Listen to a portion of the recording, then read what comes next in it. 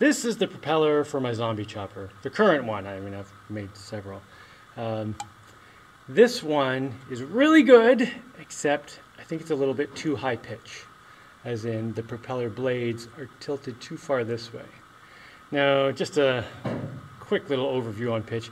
If your if your propeller blades were aimed directly this way and they were spinning around, all they would do is mix the water around, spin it around, right? But if they're turned this way, all they would do is like slicing through the water, not really doing much of anything, but they'd be really easy to turn, right? And now somewhere between this angle and that angle is like the optimum angle for your motor, your boat, and everything. And I think this is a little bit too steep. And I want to go back a little bit. So, it's a rainy day today. Well, the sun's out now, but everything's soaking out.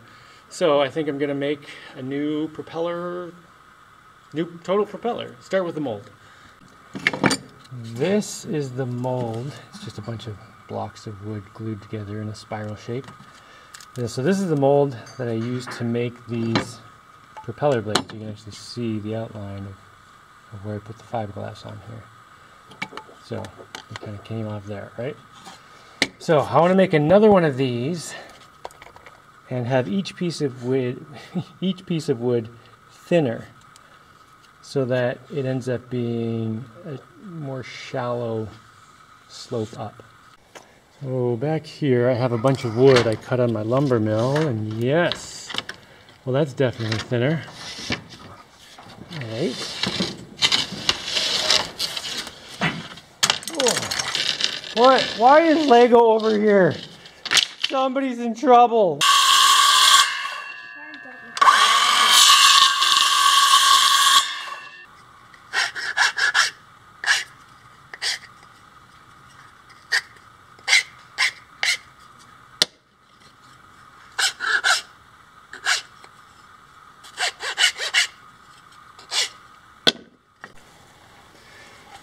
I put the uh, cone back on, whatever you this. It's a cone.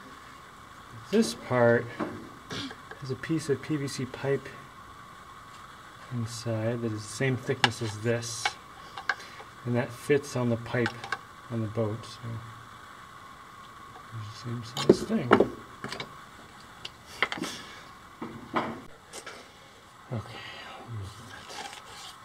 So I basically want these to be wrapped around so I could actually, you know, put these against this when I make the fiberglass piece so it'll be stuck right on. Alright, hopefully that's held steady enough. This is the closest I've got to the right size.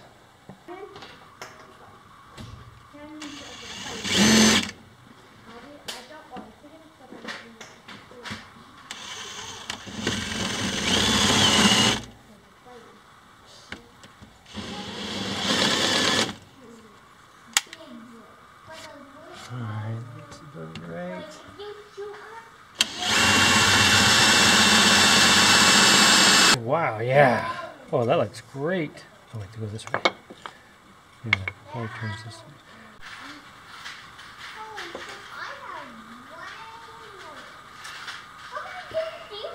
Looks pretty good. Definitely a more shallow angle than that one.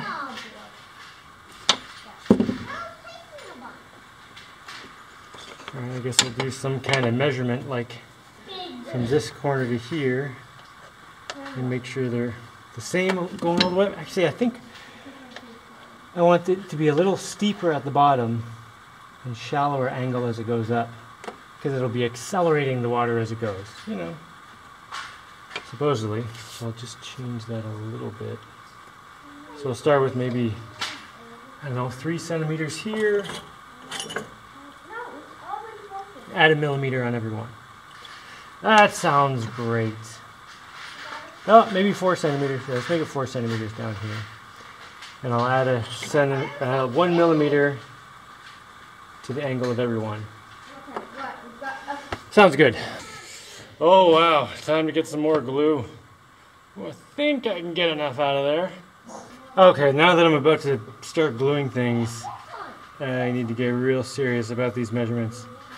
Okay, this one is only like 3.2 millimeters. And my new pieces of wood are much thinner, so I might be going too low pitch. So maybe I want to make this one like three and a half. Yeah, I think like three and a half millimeters would probably be better. I don't want to go too low pitch because then I'll defeat the point of doing this. Oh, I could do math to figure it out, but think I have a pretty good idea of what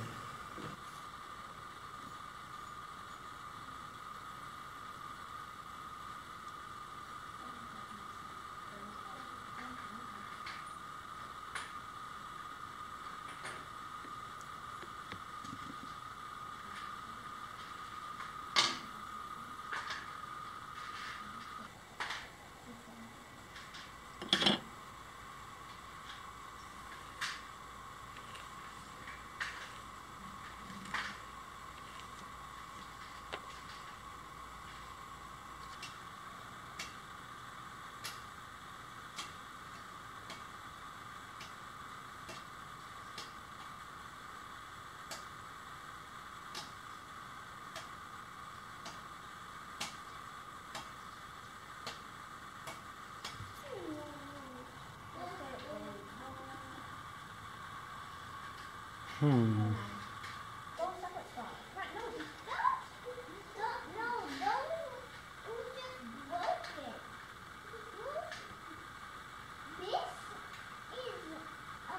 Okay. I'm gonna leave that for a few hours. Do something else. Hopefully this won't move.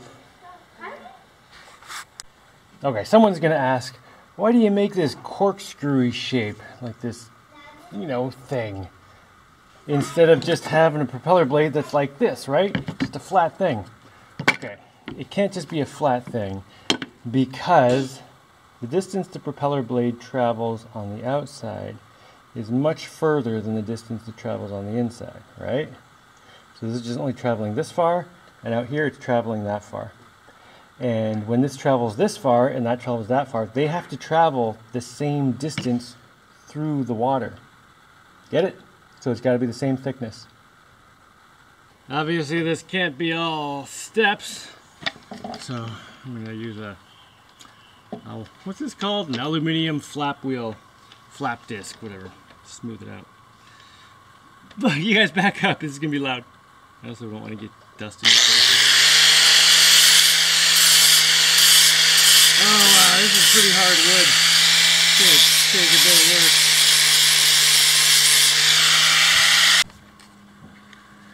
Found a piece of 60 grit sandpaper on the ground the other day. I was visiting somewhere. Oh, it's still got some some use in it. That's great.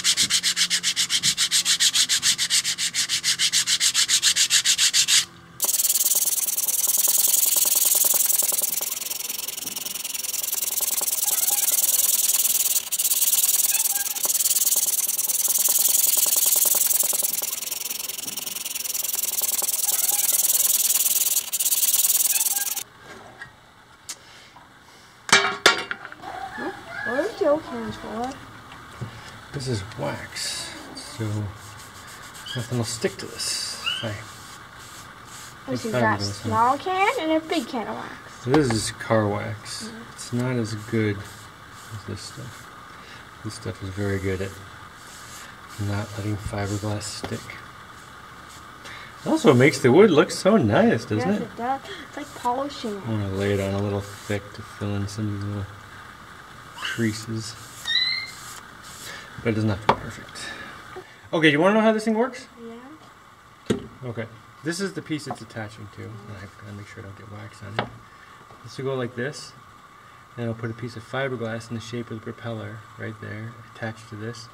And then I'll rotate this. Uh, oh, 360 divided by 3. 120 degrees. and then make another one. And then rotate it again. And then make another one. How many? Three. Three propellers. I think I'll make it pretty much like this one. This is cool. Like to. Oh, do oh, Yeah, and then this will stick out the back. That's cool.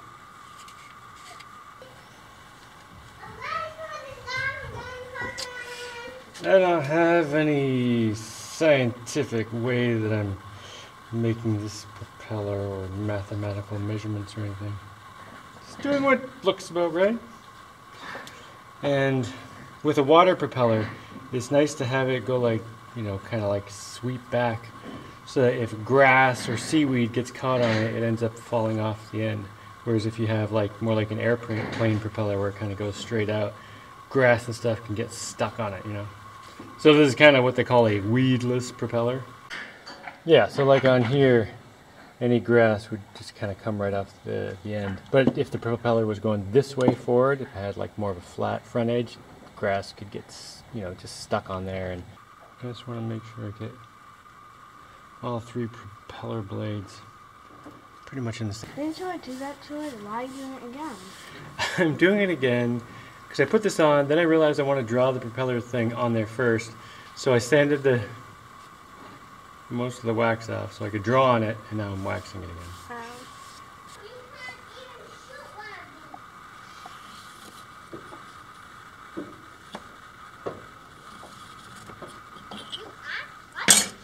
Okay. What I've got set up here is I've got a block of wood. This is screwed down to it. That's all clamped in place. Make sure it doesn't move. And the block of the block of wood has a hole, so this goes in the right height. And then I've got a little notch filed out of here, so I can put this on top and line it up with a line right here and do the first blade. And then I can rotate it 120 degrees until, well, doing a 120 degree angle wasn't as easy doing a 60 degree angle. So I'm just going to check the 60 degree angle on the back side, which should put the front side at 180 degree or 120 degrees. Then I do that propeller blade, and then the same thing. Uh, then I have to get it over there. Okay, I have to put a one more line over here that's 60 degrees from that one. Okay, last thing, I'll lean the crowbar against it just to make sure this is pressed up against there so it'll be the same every time. Okay and cut out some pieces of fiberglass that are this shape with enough to go up onto this. I think I'll do three this shape and then three a little bit smaller. So I can do two layers on each propeller blade at the beginning.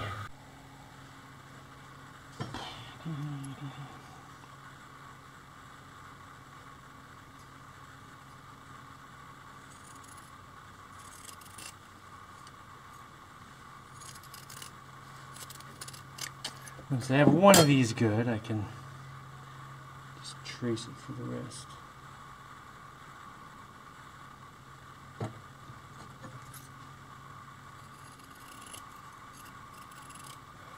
Trace. Should keep the stinky fumes blowing out the window.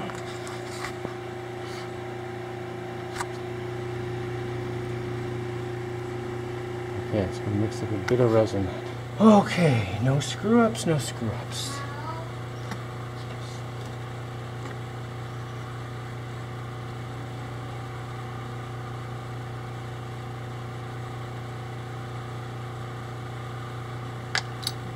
You're chunk, I don't want a chunk. What do I do this chunk? Okay, so you don't want to do this.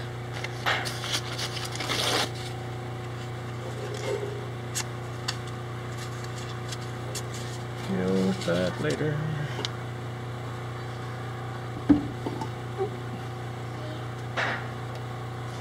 Alright, Jaimie. Let's get that hardener right. That's definitely more than I need.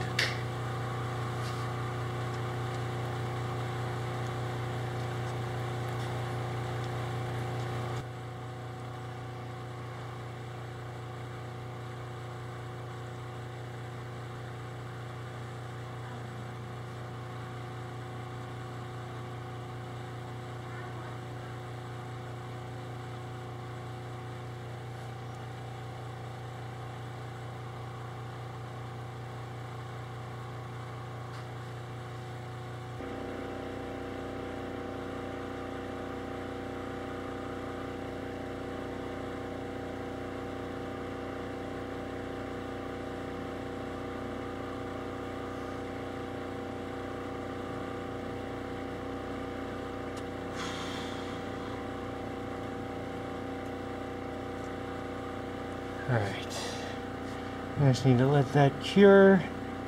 After it cures, I should draw the line so I can trim it so they can be all exactly the same. Hey, do you smell any resin? Nope. Do you know what it smells like? No, I do not. It smells like nail polish. Uh, no. Do you smell anything like I did smell it. Do you smell any right now? So you don't smell any right now, do you? All right, you'd definitely be able to smell it if you could smell it. I kind of want to take this out into the sun because the sun cures this stuff faster. Uh, but if I do that, I'll have to disconnect it and screw up the alignment of everything. So, well, it feels like it's pretty. I think it's pretty solid. Fan stir bit. Yeah, we'll go with this.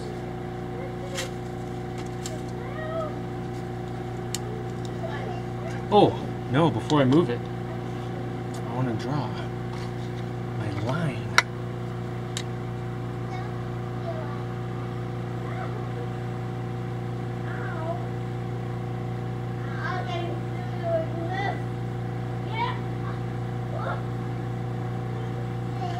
Can't tell if this is showing up, but I hope it is.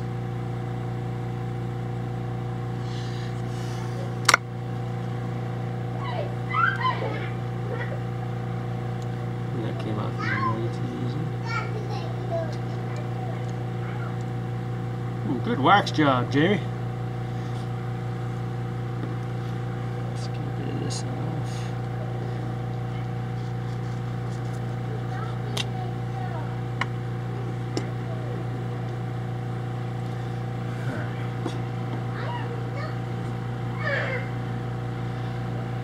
Alright. This way until this lines up with that line over there.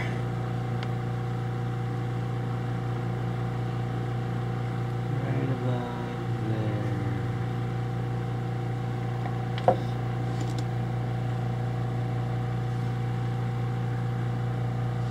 I won't stick my head in the sand.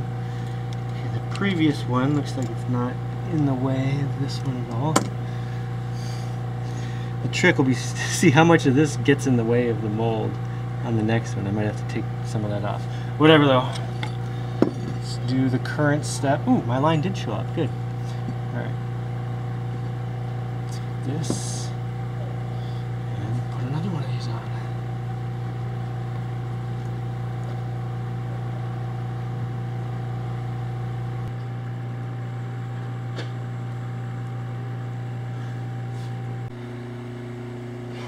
All right, two. Now this one is probably going to be trickier. have to trim that so it doesn't hit this. Yeah, I just took the angle grinder to it. I think that will fit.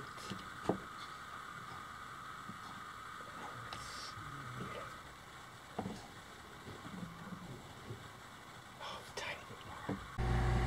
Okay, that's the third one. Looking mighty good so far.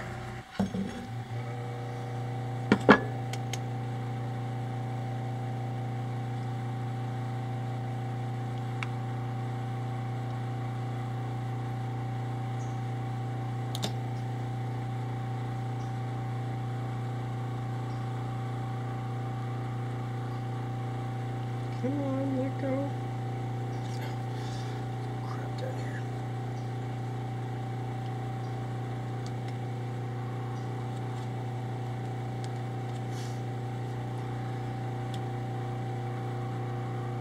Oh, nice. Oh, that looks great.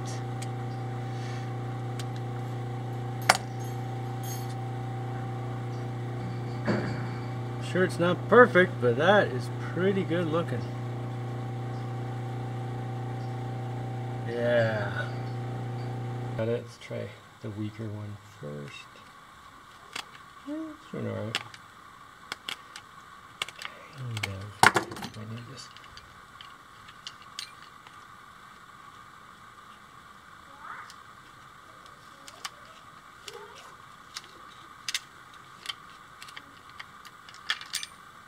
Alright,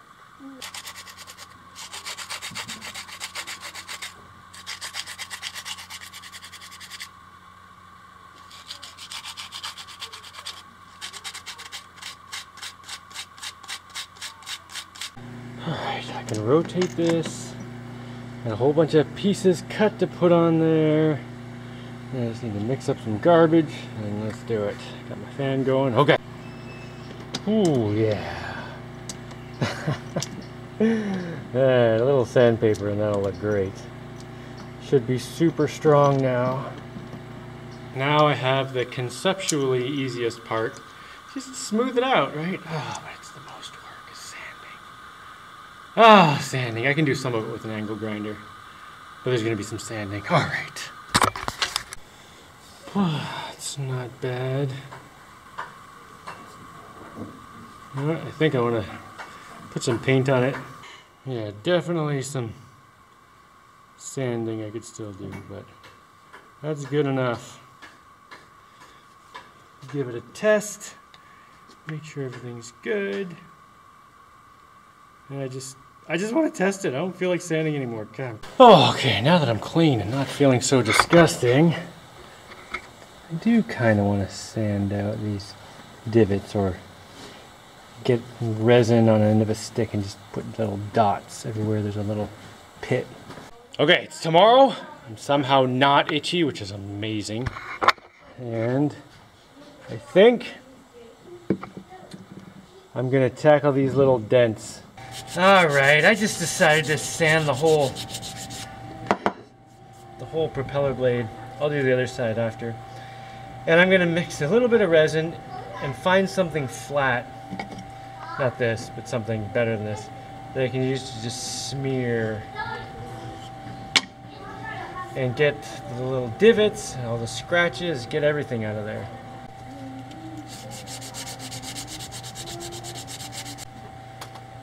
Oh, you know what I've got?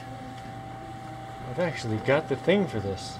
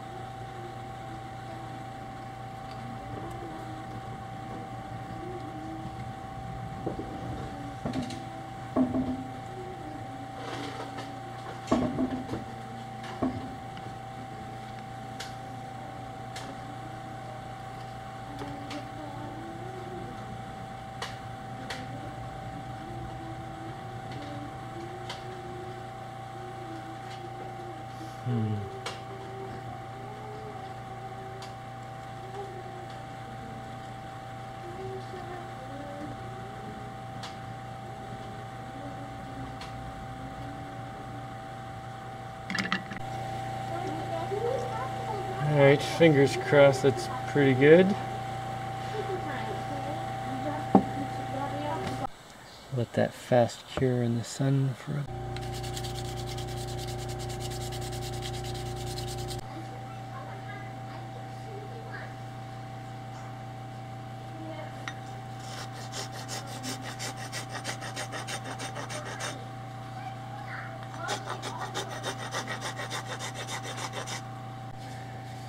Okay. Well, I spray it. Oh, looks pretty good. Of course, as soon as I spray paint it silver, any blemishes will really stick out. Whatever, let's go. Oh, that one looks great. Not bad. Yeah, good enough. Okay, Ah, no, I better just wait. All right, I gotta go eat some food or something. And come back to this in like 15 minutes when it's definitely dry. Otherwise, I'm gonna get fingerprints on it.